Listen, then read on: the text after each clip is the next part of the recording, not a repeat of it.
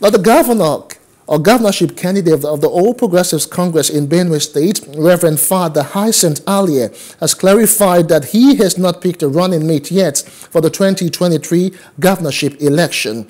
Now, the clarification is coming on the heels of widespread speculations that Dr. Sam Ode, a former Minister of State for Niger Delta, had been picked as his running mate.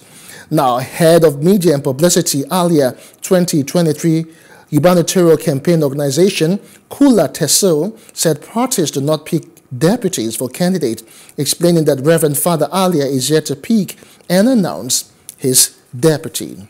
Hello. Hope you enjoyed the news. Please do subscribe to our YouTube channel and don't forget to hit the notification button so you get notified about fresh news updates.